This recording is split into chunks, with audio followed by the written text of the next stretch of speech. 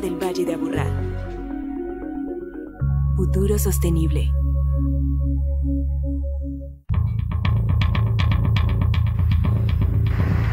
Las ciudades latinoamericanas, las colombianas, siempre se pensaron con un modelo muy americano, donde el carro era como el protagonista.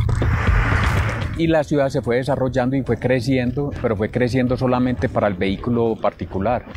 Porque creímos que durante mucho tiempo eh, el, vehículo daba estatus social cuando lo que genera es mayor inmovilidad urbana y el efecto es negativo sobre el mismo usuario porque contamina el aire. Ya fue en los años 80, 90 que se empezó a sensibilizar este tema, darle como más fuerza al transporte público masivo y semimasivo. Ya hoy pensamos en una cosa muy distinta y es en, en darle mayor flujo a la bicicleta y al peatón. Realmente caminar eh, sea el, el, el, motor más importante para conectarnos con nuestro trabajo, con el estudio, eh, con, los, con, los, con el ocio, con la diversión. Siempre se ha demostrado a mayor peatonalidad, mejores condiciones de salud de la población donde mejoramos las condiciones de ciclo caminabilidad, donde involucramos al ciclista y al peatón, los índices de venta de los comerciantes mejoran. Se va a encontrar una ciudad más ágil, una ciudad que aproveche más sus espacios, que sea más equitativa y que permita menores tiempos de desplazamiento mejora las condiciones de seguridad, hay menos contaminación, a menor vehículos automotores y mayores peatones o biciusuarios, eh, mejora las condiciones de aire. Cuando la gente encuentra que en la ciudad se le ofrecen las condiciones de confort, de seguridad para caminar, la gente siempre opta por caminar y por llegar a su lugar de destino caminando. Lo más importante es que haya una continuidad y que no, no, existan obstáculos que nos permitan, ya sea en una silla de ruedas, con un carro de mercado, con un coche de bebé, poder desplazarnos sin tener mayores esfuerzos. Una ciudad compacta, caminable, con eh, disposición de servicios inmediatos a las áreas residenciales, debería y se plantea como la ciudad ideal y siempre encontramos que una persona que camina o que va en bicicleta es una persona más feliz. Las ciudades son sus calles y cuando se habla de la calle se habla del andén, del alero. Ese es el centro de la actividad urbana. En los andenes todos somos iguales, que es el espacio de la civilidad. Civilidad es construir ciudad a partir del ciudadano. Área Metropolitana del Valle de Aburrá. Futuro sostenible.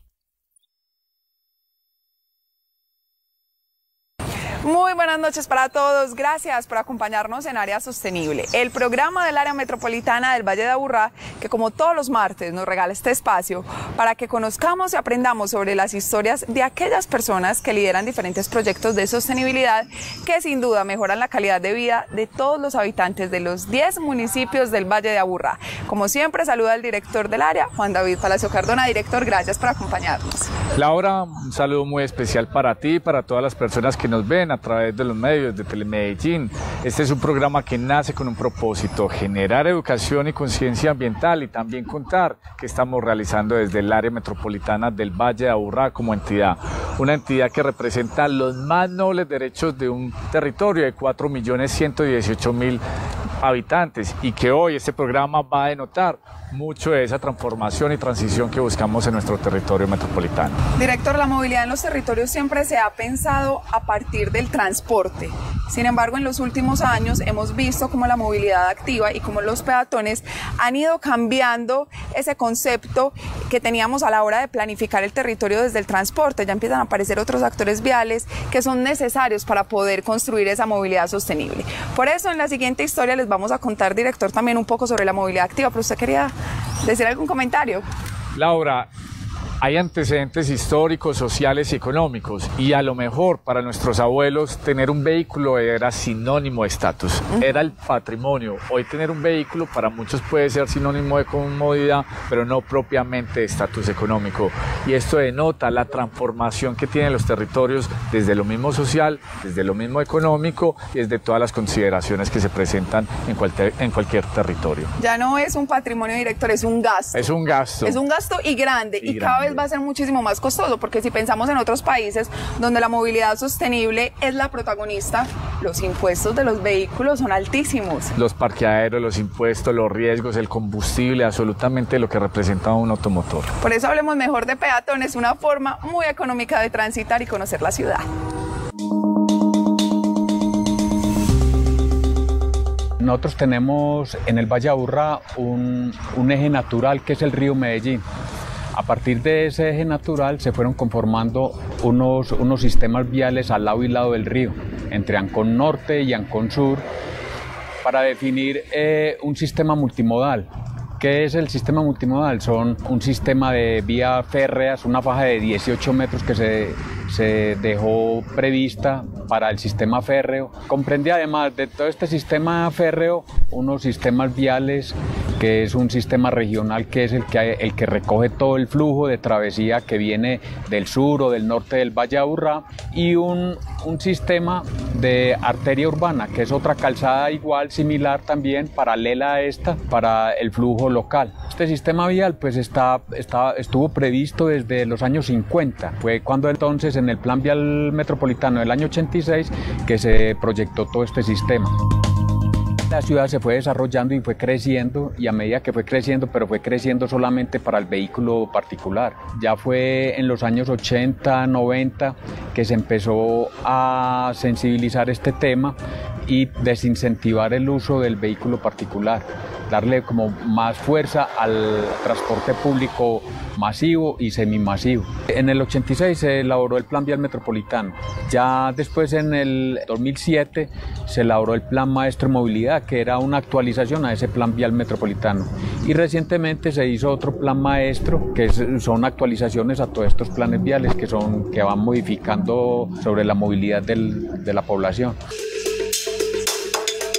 El plan de movilidad va evolucionando con el mismo concepto y lo, lo mismo que buscamos a llevar una movilidad más sostenible y por eso es que entonces empezamos a modificarlo, empezamos a, revisar, saber qué vías son indispensables para los municipios, pero también cómo podemos articular los, nuevas, los nuevos temas de movilidad no motorizada para que le demos gusto y podamos cumplir para todas las personas que se desplazan dentro del territorio.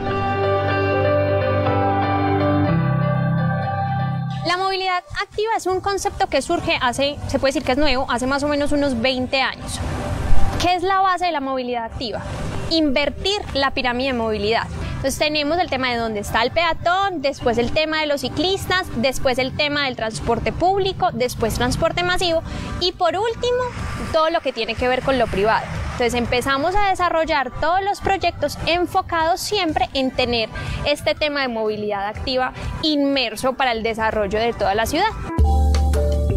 Cuando nosotros pensamos un proyecto de infraestructura con este componente de movilidad activa, incluye seguridad. ¿Cómo hago que mis peatones, mis ciclistas, las mujeres, los señores, eh, los ancianos o las personas que tienen algún tipo de, déficit en su movilidad ¿Cómo hago para que ellos se sientan cómodos caminando por ahí? Con una muy buena iluminación, con una sensación de, de, amplitud. Tengo rampas de acceso, que si yo llevo de pronto un coche, las mujeres que van con sus bebés en un coche no me toque cargarlo, sino que yo pueda subir. Todo eso es movilidad activa. Que tome la decisión por iniciativa propia de, hey, me voy caminando porque se siente más rico que estar montado en un bus, que estar montado en un carro. El transporte integrado es el éxito de la movilidad de una ciudad, poder articular todos los sistemas, las rutas de buses, los transportes intermodales, el metro, la bicicleta, para que la gente, ojalá con un solo pasaje, pueda desplazarse a lo largo de todos los 10 municipios del Valle de Aburrá. El área metropolitana, aunque muchos no lo crean, tiene un muy buen sistema de transporte público. Del tema de, digamos, de, de la bicicleta pública, el sistema es el único sistema de bicicletas públicas, o sea, donde la gente no le cuesta nada montarse en una bicicleta. Para la ciudad, para las entidades y todo van a haber beneficios en que disminuye la huella de carbono de las personas, se va a contaminar menos, se va a encontrar una ciudad más ágil. Para las personas principalmente la salud, la economía, la agilidad, llegar más rápido a su lugar de destino, encontrar menos congestión y siempre encontramos que una persona que camina o que va en bicicleta es una persona más feliz. Es un tema de todos entender que es un cambio que necesitamos, que ya el planeta nos está diciendo hagan una pausa y, y respondan y hagamos un cambio, es un tema en el que todos tenemos que poner un granito de arena. Qué rico caminar por ahí, qué rico respirar aire fresco, por decirlo de alguna manera. Área Metropolitana del Valle de Aburrá. Futuro sostenible. Para continuar hablando de la peatonalización y esa transformación que han tenido nuestros territorios en pro de una movilidad sostenible, saludamos a Víctor Valencia. Él es ingeniero civil de la Universidad Nacional y experto en temas de movilidad. Víctor, gracias por acompañarnos. Es un gusto. Víctor, bueno, veníamos hablando de la movilidad activa, pero contémosles a los televidentes cuál es ese significado, ese concepto que en los últimos años ha cobrado tanta importancia. Muy bien, este, la movilidad la podemos ver desde el punto de vista de ingeniería de tránsito como esa facilidad para desplazarse. Y una excepción de la movilidad es la movilidad activa, es aquella que involucra los modos de transporte donde no hay motores, por ejemplo en bicicleta, a pie, inclusive en patineta, sin eh, motor. Entonces es promoviendo esa, el uso de los recursos naturales, digamos, que tenemos las personas para desplazarnos. Director, en el Valle de Aburrá vemos cada vez más que los municipios se adaptan para poder lograr esa movilidad activa. Hay un elemento puntual, el Valle de Aburrá en 100 años ha crecido en número de habitantes, ha crecido en número de rodantes, yo siempre lo señalo, Medellín 1920, un centro poblado más o menos de 250 mil habitantes. Valle Aburrá, 2022, 4 millones 118 mil habitantes. El número de rodantes se estima que está sobre 1.780.000. Lo que quiero denotar es que crecemos en número de habitantes, crecemos en número de rodantes, pero geográficamente nosotros seguimos siendo el mismo espacio. Se estima que es, es alrededor de 1.135 kilómetros cuadrados. Si nosotros seguimos siendo más habitantes, más rodantes, pues se va a generar dificultades. Es por ello que se tiene que buscar mecanismos donde el territorio cada día sea más competitivo, pero que a su vez los ciudadanos encuentren vías para poderse desplazar y no propiamente son las vías de los automotores. Es, es estos espacios como las ciclorrutas, de transporte público una serie de acciones y decisiones que son necesarias para la planificación del Valle de Aburrá. Bueno, y dentro de ese contexto que nos explicaba el director Víctor, los demás actores viales sí estamos entendiendo la importancia del protagonismo del peatón en las vías. Yo pensaría que estamos comenzando a entender, pero no es suficiente. En la vía tenemos muchos actores, el peatón como el principal, considero yo, por la gran movilidad de, o necesidad de desplazarse que, que, tiene, pero hay otros actores que parece que no han entendido esa importancia. Entonces, eh, faltaría que la gente, por ejemplo, que conduce, aunque eso he notado que ha evolucionado un poco, entienda la importancia del peatón y le dé su espacio y le respete su espacio. Yo creo que esa es una parte. Por la parte de la administración cada vez veo más interés en darle ese respaldo a los peatones. Entonces, eso depende un poco de, de, cada uno. Vamos en el camino. Así es, Víctor, director, y es que justamente son muchas las acciones que se están implementando para poderle dar esa vía al peatón que tanto lo ha pedido y también al ciclista. Para el año 2017 se, estuvo, se hizo la encuesta origen-destino, que por metodología es cada cinco años y este año nuevamente se tiene que realizar. En ese momento se estableció que en el Valle de Aburrá cada día se realizaban cerca de 6.130.000 viajes y estos viajes son viajes normalmente obligados, es decir, al trabajo, al estudio y demás. Pero este, de estos 6.100.000 viajes que se realizan en el día, se calculó que cerca del 23-24% se realizaban en vehículos particulares, es decir, un millón y medio de viajes se realizaban en motocicletas y en vehículos particulares.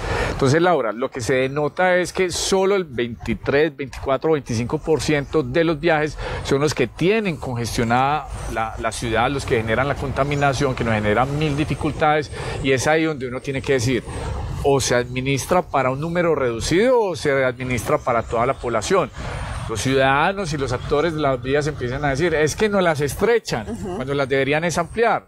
Y nuevamente se abre el debate. Son malas personas que utilizan el transporte público, son las malas personas las que caminan y utilizan la bicicleta. En ese sentido, tenemos que administrar.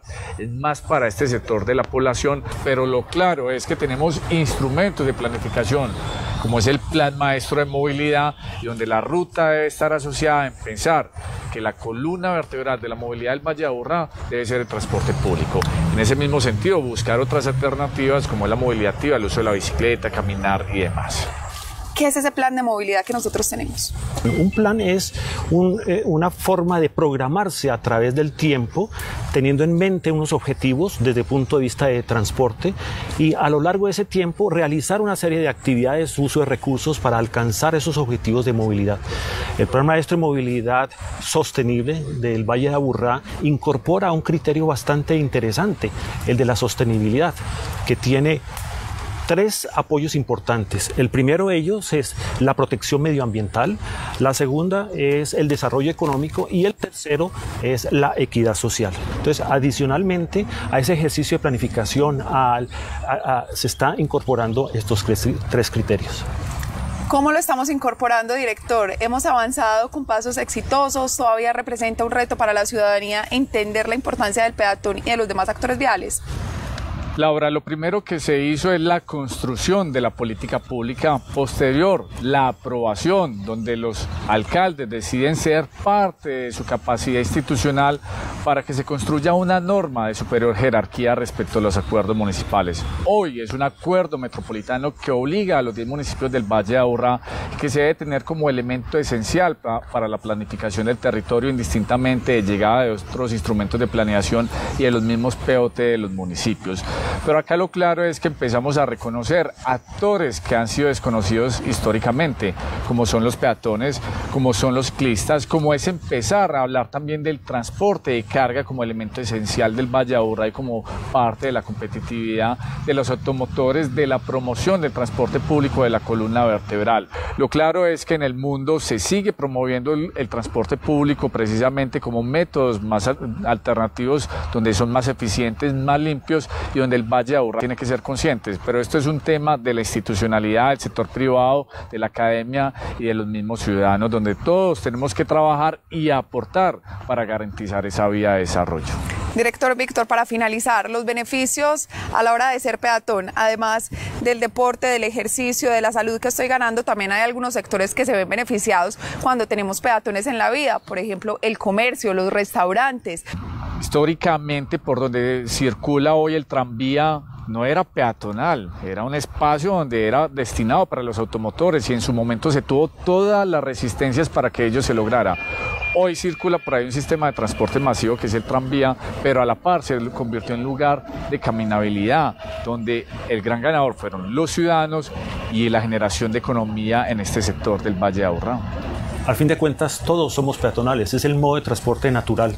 El modo de transporte peatonal es el mayoritario, ¿sí? es el que la gran cantidad de la gente utiliza y por eso requiere todo el respaldo para, ese, para, ese, eh, para que siga siendo de eso.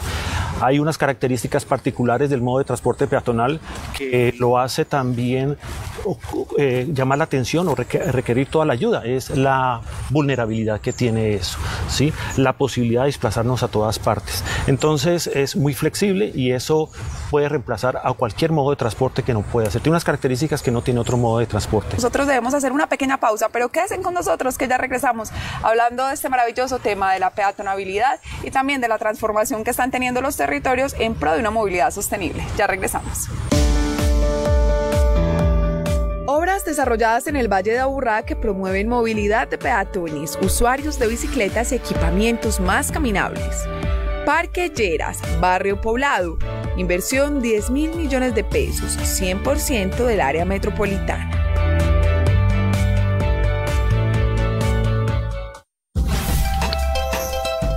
Estás viendo Área Sostenible.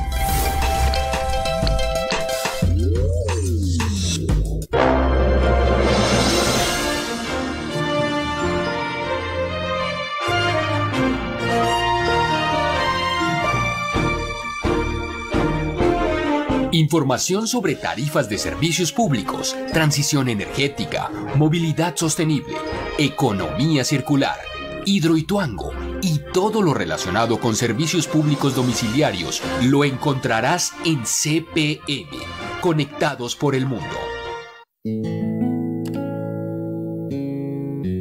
Hola, mi nombre es Mauricio Pérez y esta es mi mamá, Yolanda Sánchez. Te amo, mamá. Gracias por ser esa gran mujer que todos los días me da la fuerza para levantarme y luchar día a día. Te amo.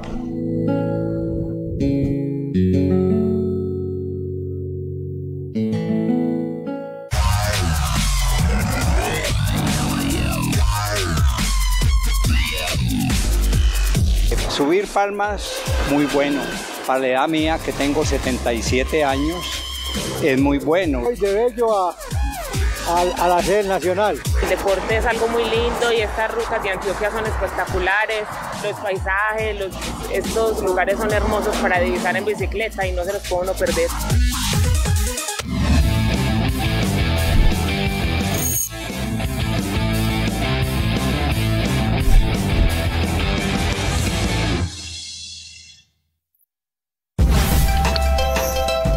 Estás viendo Área Sostenible.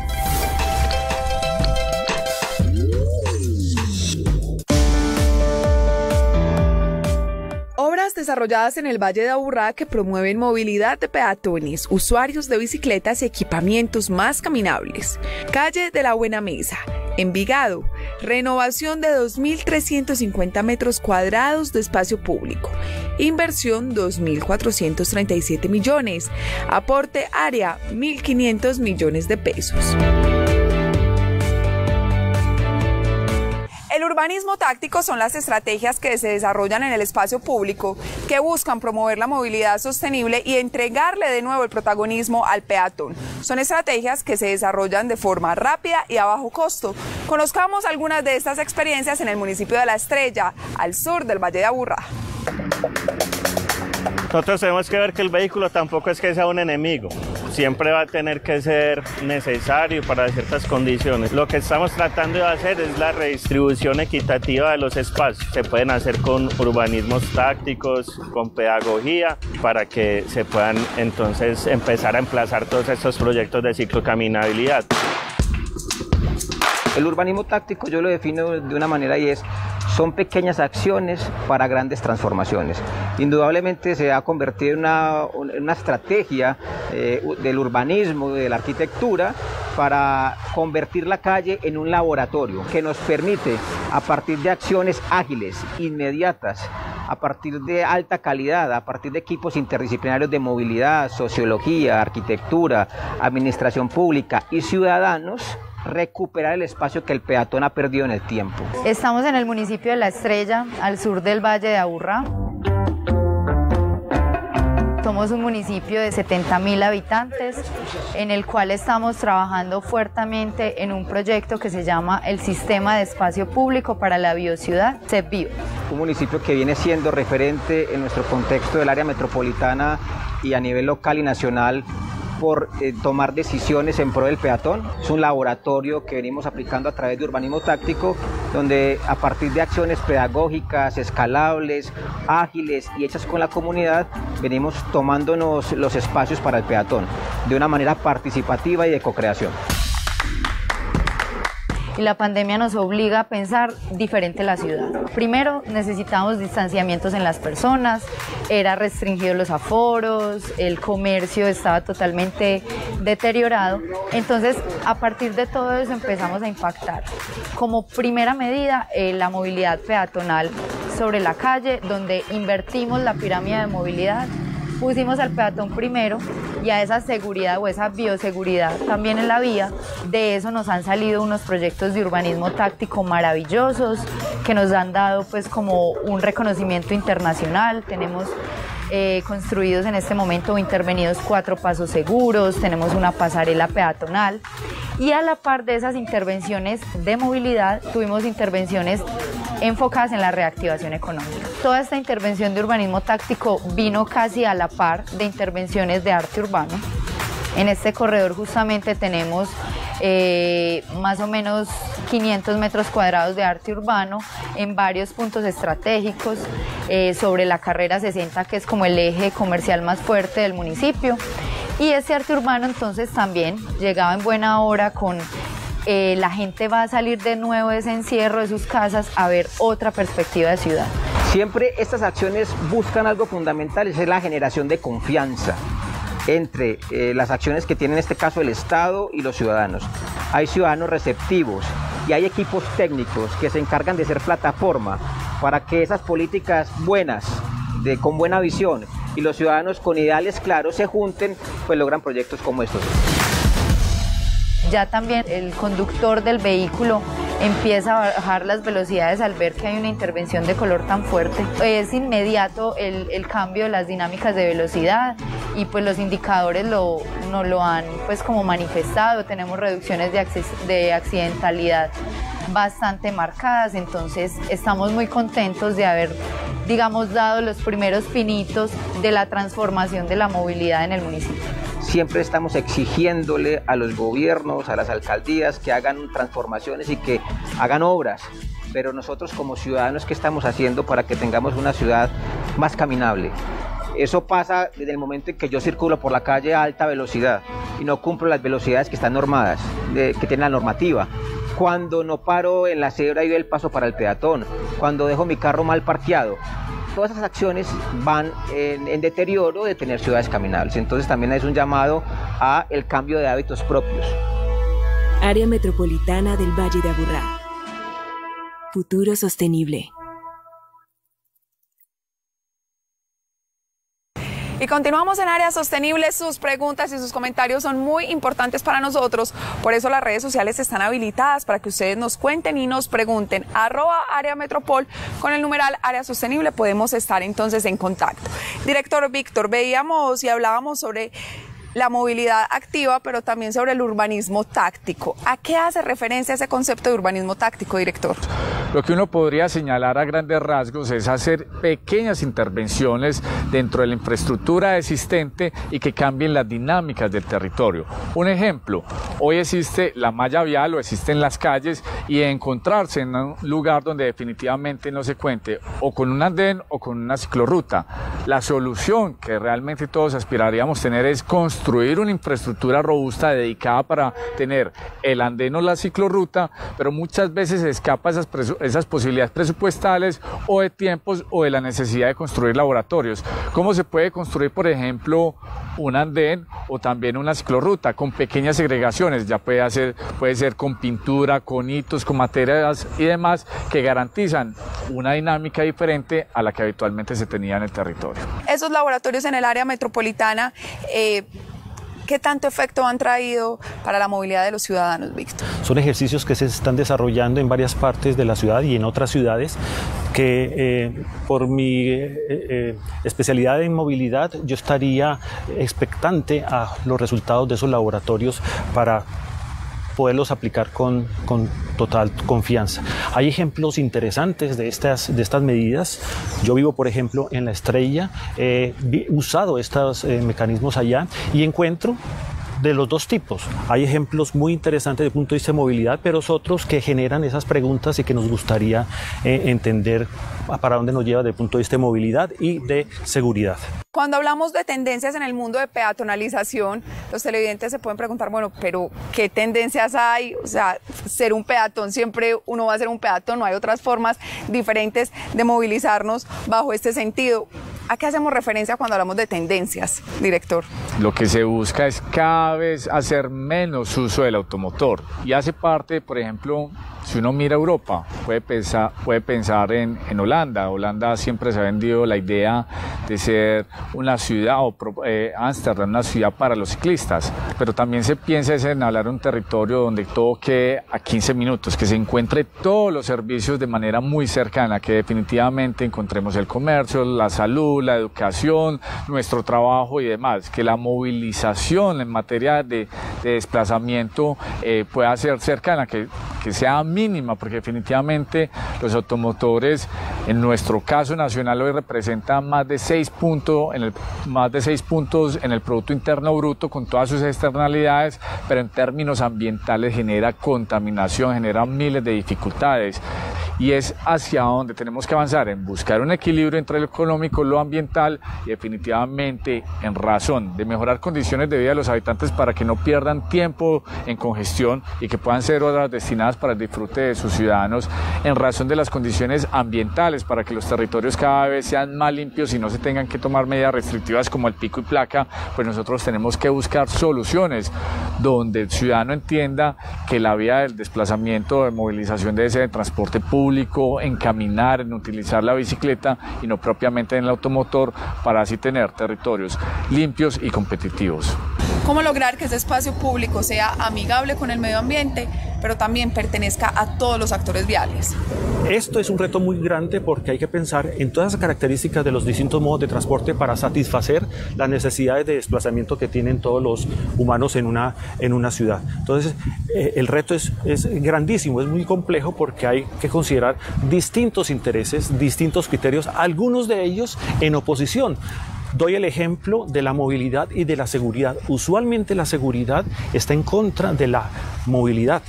Un ejemplo puede ser el de las motos. Las motos generan una movilidad muy grande, pero una inseguridad también muy grande. Entonces, el reto se vuelve más, más complejo. ¿Qué decisión y cómo tomar esas decisiones involucra la participación de muchas personas, de muchos conocimientos y recursos para tomar la mejor decisión para las condiciones en la ciudad que estemos trabajando? Cuando hablamos del peatón, también es importante hablar de la responsabilidad que tiene el peatón director, porque es un tema también de corresponsabilidad. Los demás actores viales eh, necesitan respetar al peatón, pero ¿cuáles son esas obligaciones que tiene el peatón en la vía? Laura, yo lo resumiría de manera muy práctica y puntual. El Código Nacional de Tránsito no solo es para los automotores, es para todos los actores en la vía. Precisamente estábamos hablando que el año pasado, en el, el año pasado habían muerto más de 1.607 personas en accidentes de tránsito y a lo mejor muchas fueron producto de colisiones, como muchas también habrán sido producto de esa irresponsabilidad o falta de cuidado de algunos peatones al no utilizar propiamente eh, las cebras, en no respetar los semáforos, en no respetar las normas de tránsito. La responsabilidad es de todos, no solo de unos cuantos. ¿Por qué promover la mezcla de usos de transporte contribuye a la disminución de viajes, Víctor? La mejor forma para poder desplazarse es utilizar cada modo de transporte según su vocación, según sus eh, competencias, según sus capacidades.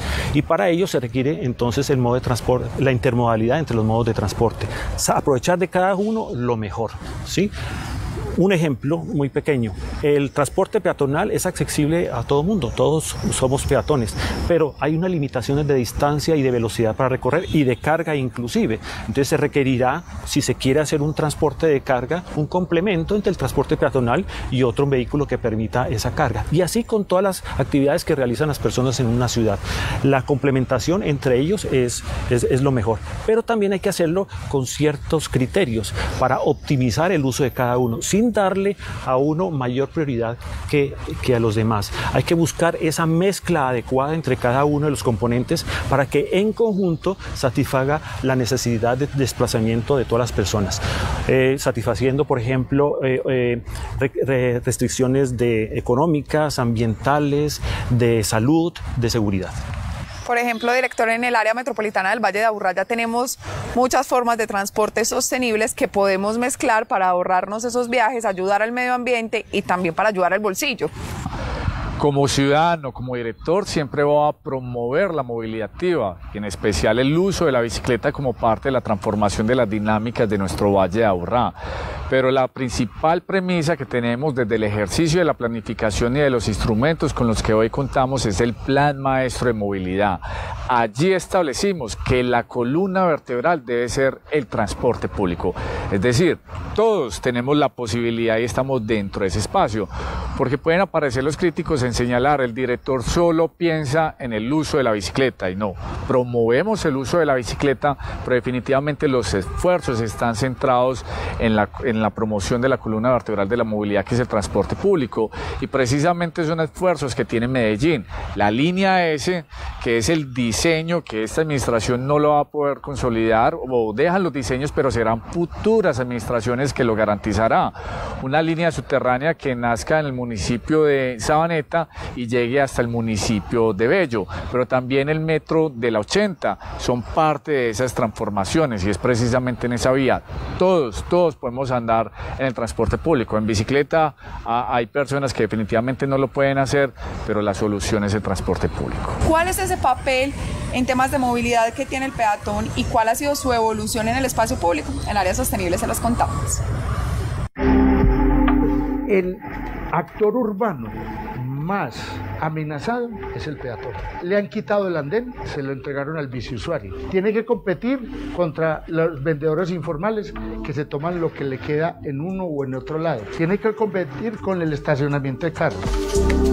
Pese a, los planteamientos que se ha hecho y las buenas intenciones de invertir la pirámide de movilidad, lo cierto es que no ocupa un lugar preponderante. El 1% es la bicicleta, el 4% son los taxis, el 5% es el peatón, el 10% son los carros, el 21% son las motos, el 28% es el metro y el sistema integrado y el 29% es el transporte tradicional. Pero lo grave del asunto de esa pirámide es que el 31% lo ocupan las motos y los autos, es decir, el vehículo individual.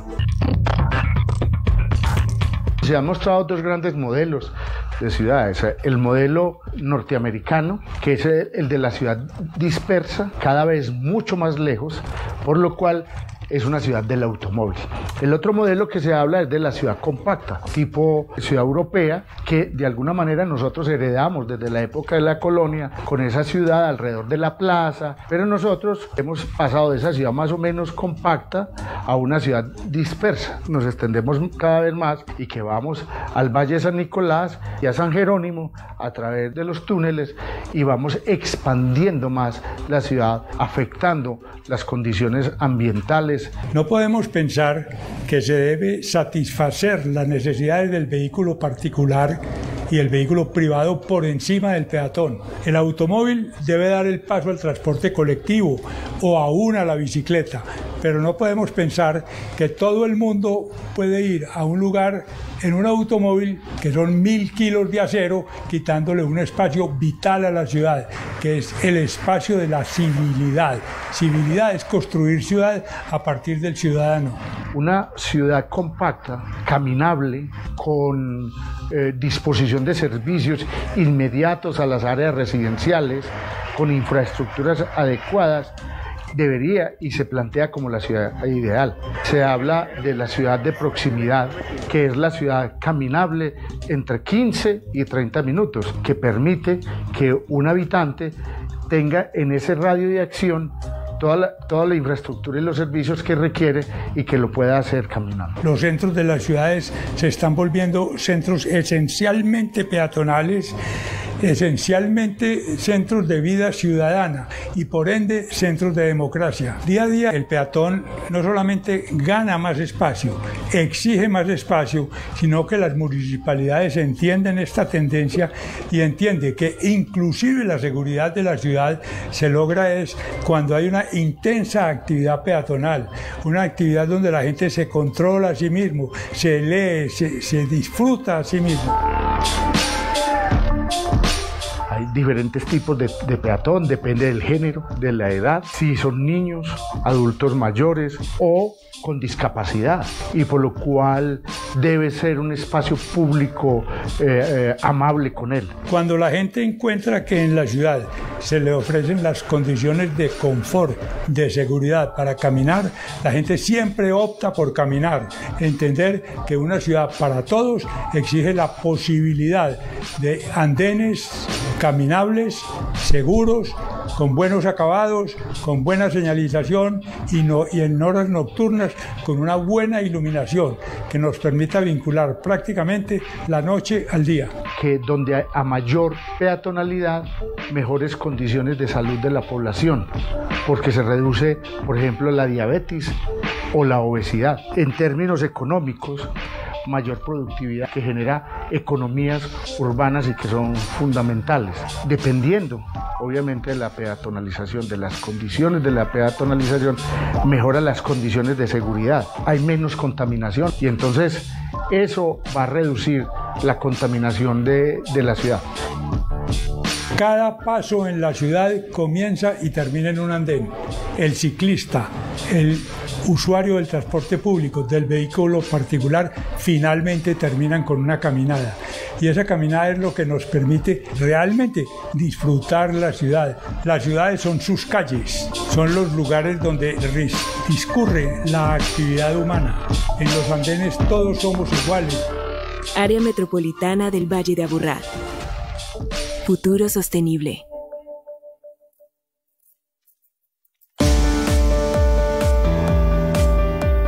Obras desarrolladas en el Valle de Aburrá que promueven movilidad de peatones, usuarios de bicicletas y equipamientos más caminables.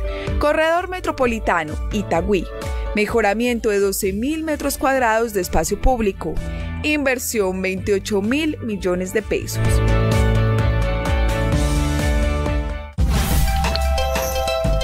Estás viendo Área Sostenible.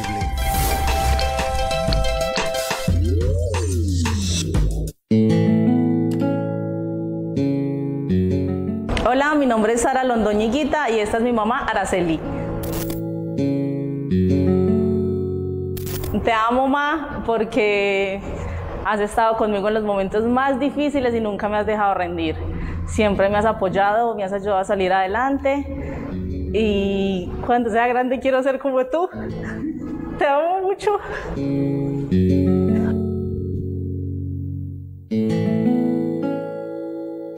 Después de entrevistar a más de 40 personajes, entre libretistas, humoristas, directores, comediantes y actores que viven del humor, una cosa nos queda muy clara. En Colombia nos reímos incluso de nuestras tragedias. Y algunos de los momentos más amargos de nuestro país son ocasionados por la corrupción, la inseguridad y las promesas sin cumplir de los políticos. Tan diversos como nuestras regiones, nuestros colores y nuestros sabores son nuestros comediantes, porque somos una verdadera república de comedia.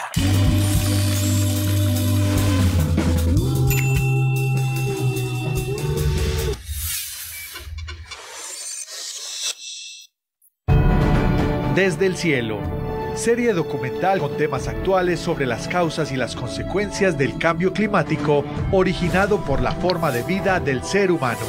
Tráfico, crecimiento urbano, consumismo que nos permiten ver el desgaste que ha sufrido el planeta por la actividad humana. Viernes 9 y 30 de la noche.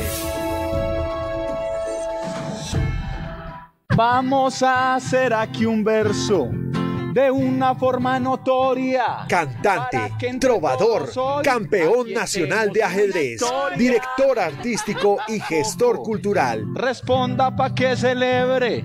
Si todavía en la casa usted arma. Él es David Gómez y todos los jueves a las 10 de la noche tiene una cita contigo para que hagamos un show. Yo no armo el pesebre porque yo no vivo en el pesebre. Una forma diferente de hablar con tus artistas favoritos.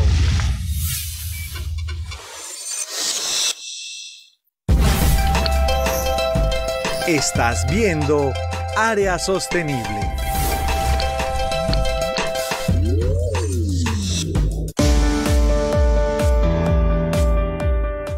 Desarrolladas en el Valle de Aburrá que promueven movilidad de peatones, usuarios de bicicletas y equipamientos más caminables.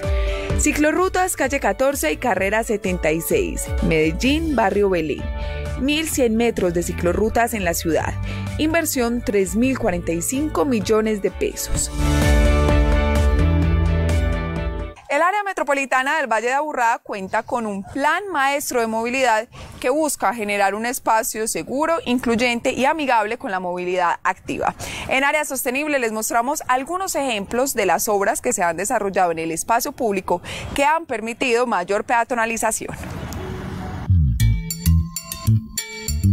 Si tenemos una infraestructura cómoda, atractiva y segura, estamos convencidos de que las personas van a empezar a buscar otras alternativas para desplazarse. Nosotros desde el área metropolitana tratamos de que todos los proyectos de infraestructura vial, inclusive de equipamientos públicos, contengan algo de ciclo infraestructura que conecte lo que tenemos por ahí cerca también le apuntamos a proyectos de conectividad general, por ejemplo, lo que tiene que ver y el, proyecto que se promueve de cicloinfraestructura norte-sur es un proyecto que está pensado para que logremos conectar desde el sur del área metropolitana hasta el norte. Es conectar con Bello y si llegamos a Bello, conectarnos con la cicloinfraestructura que tiene la autopista norte. O sea, conectamos hasta Barbosa. Con el sur ya estamos conectando hasta, hasta Sabaneta y después de Sabaneta cruzamos por Ayurá, que es el proyecto nuevo, y conectamos con Itagüí. Y tenemos un proyecto de cicloinfraestructura con el municipio de La Estrella y Caldas. O sea, ir conectando. Nos encontramos en la ciclorruta de la carrera 76, una ciclorruta recientemente inaugurada que fue temporal durante la pandemia y ya, dado el buen resultado, la hicimos de una manera permanente. Esta ciclorruta es muy importante, nos comunica las comunas de Belén y Laureles, dos sectores residenciales y con mucho flujo ciclista. Creamos también una nueva red de senderos peatonales y de andenes, mejorando los existentes y construyendo unos nuevos donde se puede dar una continuidad en la accesibilidad para todas las personas. En todos los proyectos de infraestructura que nosotros estamos desarrollando tenemos temas de movilidad activa. Por ejemplo, en el intercambio vial de la Yura, que es un puente vehicular, pero por primera vez se hizo un puente exclusivo para bicicletas. Comunica el municipio de Itagüí con el municipio de Envigado de un paso seguro, amplio y con todas las características para que se puedan circular. También está una red de ciclorrutas en este puente que se va a comunicar con la ciclorruta norte-sur a futuro. Aparte, tenemos todos los andenes amplios con todas las garantías de accesibilidad y comodidad para que lo puedan disfrutar todas las personas sin importar la condición que tengan para desplazarse. Tenemos, digamos, el Centro Administrativo Municipal de Caldas. Hoy la plaza de mercado se puede conectar por toda la plaza principal del nuevo centro administrativo. Eso es un parque los domingos. Lo que tenemos hoy, digamos, con uno de los proyectos que vamos a iniciar, que es el Parque de Artes y Oficios en Bello, por ejemplo. Es un tema ganador de espacio público, pero los temas de conectividad estás conectado con el metro. Hay dos proyectos de peatonalización muy importantes en este momento que están en ejecución, que son la calle de la Buena Mesa en Envigado y el Parque Lleras en Medellín es incrementar el espacio público y apropiarse de las calles de una manera más incluyente para todos. Es una apuesta que se está haciendo con los comerciantes, es devolverle el espacio público que estaba ocupado por vehículos a la gente. También va muy enfocado en el impacto que se tuvo en temas de, de comercio de afectaciones por pandemia. Si nosotros recuperamos espacios y si nosotros reactivamos esos espacios volviéndolos peatonales, pues vamos a mejorar lo del comercio. Es más fácil que si la gente va caminando, pare, se compre un café, vea una camisa, compre un collar, pare a comprar cositas. Siempre ha existido un poquito de temor de los comerciantes que si no es en carro la gente no va a llegar, pero con estas pruebas piloto se demostró que inclusive mejoraron muchísimo sus ventas y la apropiación de los negocios a la gente poder utilizar y poderse desplazar de una manera libre y llegar caminando hasta sus negocios. Estamos ubicados en la calle de la Buena Mesa. Es un sector donde hay muchos restaurantes, mucha zona comercial. Donde congregamos varias gastronomías atendiendo pues las necesidades de nuestros clientes. Estamos haciendo una obra, es un paso peatonal para que quede más cómodo a la, a la hora de que los usuarios vengan a disfrutar de los restaurantes. Yo como comerciante al principio eh, me sentí un poco reacia a este proyecto. Sin embargo, ya conociendo las tendencias mundiales, globales, que la gente anda en bicicleta, anda a pie, es mucho más rico llegar a un bulevar donde puedas mirar diferentes ofertas, en este caso gastronómicos, y puedas elegir comprar aquí, comprar allá, comprar acá y sentarte con tu familia, con tu pareja o con tus amigos en un bulevar que van a disponer súper bonito y disfrutar y, no tenerse uno que meter o ingresar a un restaurante eh, y solamente una oferta, sino poder compartir. Toda esta cuadra, que es una cuadra principal que baja hacia la avenida Las Vegas, ya queda totalmente peatonal. Incluso va a ser mucho mejor porque nos mostraron que van a haber sillas y partes pues donde la gente se pueda sentar, charlar, conversar, van a sembrar árboles, bueno, va a ser algo muy bonito. Nosotros tenemos un proceso que se piensa a largo plazo y es de la articulación de todos los municipios. De momento lo que estamos haciendo es en cada cabecera urbana, en cada núcleo central de cada municipio, hacer proyectos de, de cicloinfraestructura y de caminabilidad. La idea de nosotros es ir tejiendo una red grande que en un momento se pueda uno comunicar entre los 10 municipios del Valle de Aburra de una manera segura, por, ya sea en bicicleta o caminando. Área Metropolitana del Valle de Aburrá. Futuro sostenible.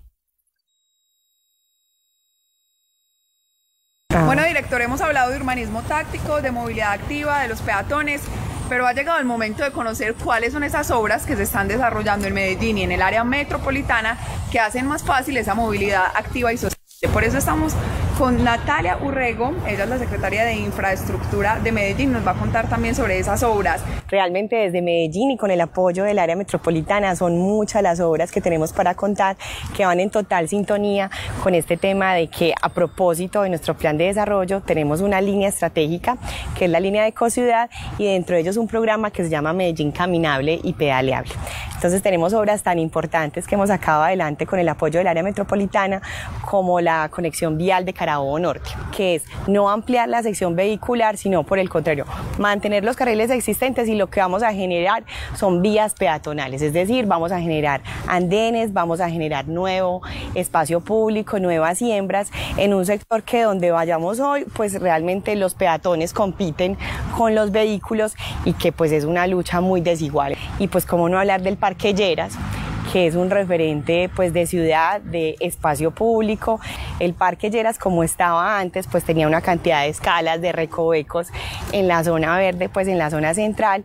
Entonces por eso tan importante esta renovación que estamos haciendo. Tendremos entonces todo a nivel, se manejarán unas pendientes que son adecuadas y, que cumplen con el manual del espacio público para que sea un parque accesible para todos, pero que también en el día nos podamos ir en familia o pues eh, digamos todos estemos invitados a ir a comernos un helado a tomarnos un café, a leer un libro, vamos a tener también teatrino, es decir, pues que vamos a, a tratar de confluir ahí muchas cosas.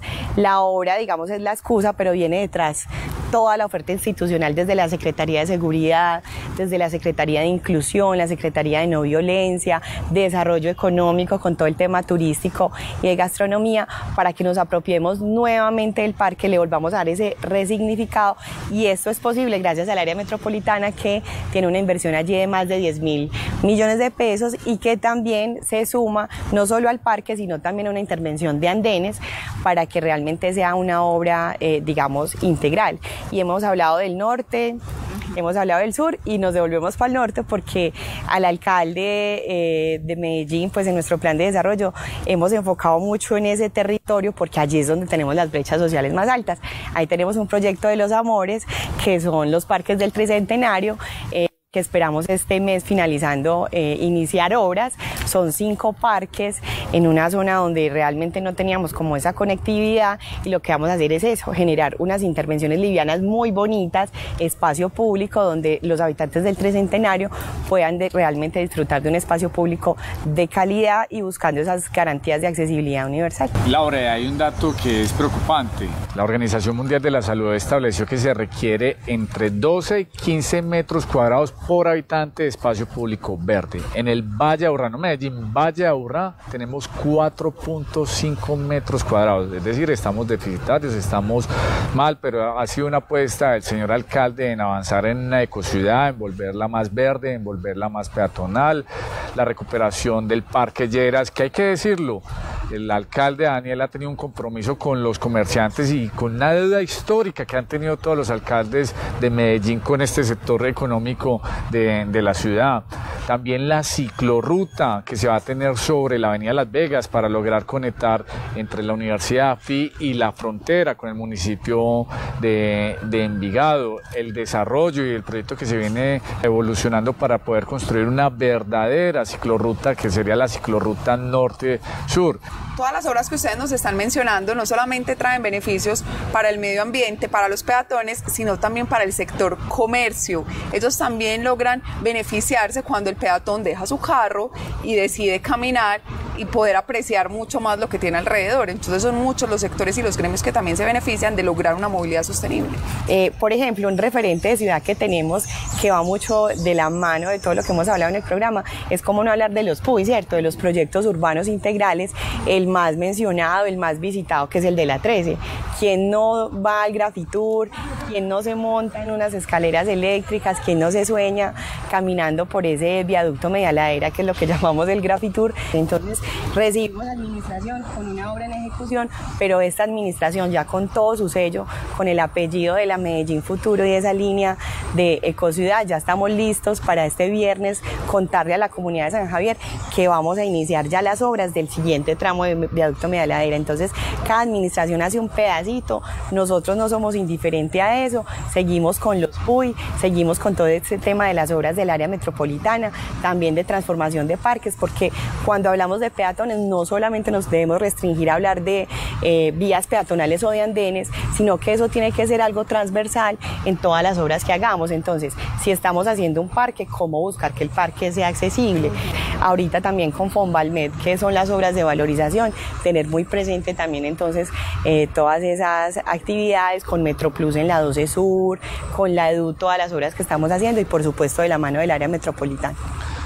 No, y no, no solo lo que significa o representa en términos de infraestructura, es toda la oferta institucional. Es que detrás de la llegada a un parque o la transformación de un parque aparece la luminaria, es decir, mayor seguridad, aparece desarrollo económico para buscar posibilidades de que pequeños empresarios del sector puedan estar ahí, aparece el tema de mujeres, equidad, aparece toda la oferta institucional. No solo una transformación en términos de infraestructura, sino una transformación en lo que representa las condiciones de vida de los habitantes y la competitividad del mismo territorio. Director, secretaria, se nos acabó el tiempo. Como siempre, director, el tiempo es corto, corto, para todos los temas que tenemos que hablar. Son muchos ejemplos que se los iremos contando en estos programas de área sostenible. Ustedes, gracias por acompañarnos. Nos vemos el próximo martes a las 8 de la noche, pero recuerden que la repetición de nuestro programa son los domingos a las 5 de la tarde. Gracias por acompañarnos. Feliz noche para todos.